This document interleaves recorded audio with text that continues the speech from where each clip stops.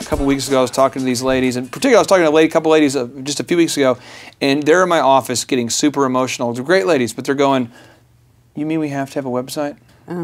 We, we, we've already priced it though, where we, we have such a slim margin. Mm-hmm. How are we going to go back and afford a website? And then mm-hmm. we're, we're going to have to have a bit of video made. I said, you don't have to have a video, but mm-hmm. because of your product, you have to show people what you. It's a, they, they were selling a, a something that does something. Sure.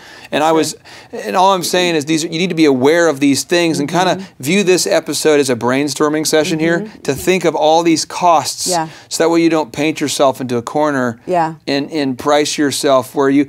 Do you remember what it felt like when you were when you were working all the time and mm. selling a lot of units but not making mm-hmm. any money? Yeah.